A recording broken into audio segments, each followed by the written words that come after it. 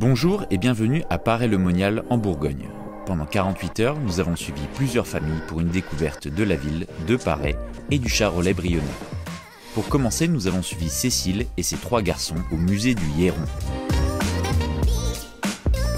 Nous avons continué notre parcours culturel avec la visite de la chapelle La Colombière et ses magnifiques vitraux. Le cloître de la chapelle a même pu permettre aux enfants de se dépenser après toutes ces visites. Et pour canaliser ce trop-plein d'énergie, quoi de mieux qu'une petite balade en forêt? Nous nous sommes donc rendus dans le bois des Aisances, un site naturel aux portes de la ville. Avec ses grands sapins et sa mousse verdoyante, cette forêt est un saut dans un univers féerique où les enfants ont pu s'amuser tout en prenant un grand bol d'air frais.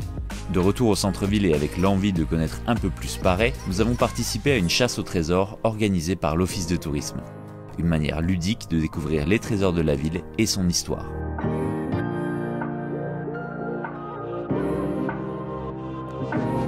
Nous avons atterri ensuite au musée de la mosaïque où les enfants ont pu participer à des ateliers et même manier quelques outils.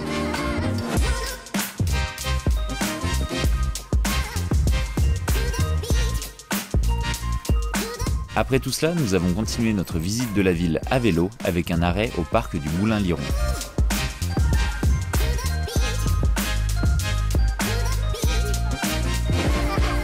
Nous avons ensuite longé le canal du centre en pédalant au bord de l'eau pour regagner le centre-ville.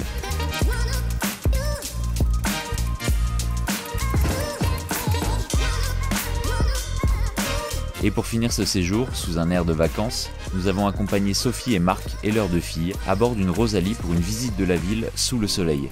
Tout en pédalant à l'unisson, nous avons pu arpenter les rues de Paray et découvrir ces édifices incontournables. Nous avons continué la visite du centre-ville à pied, en flânant dans les parcs et les petites rues du centre. Et pour nous rafraîchir, rien de mieux qu'une bonne glace.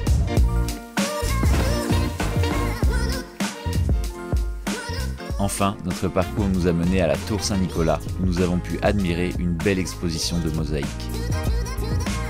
Alors tout comme ces familles, n'hésitez pas un seul instant à venir visiter Paray-le-Monial.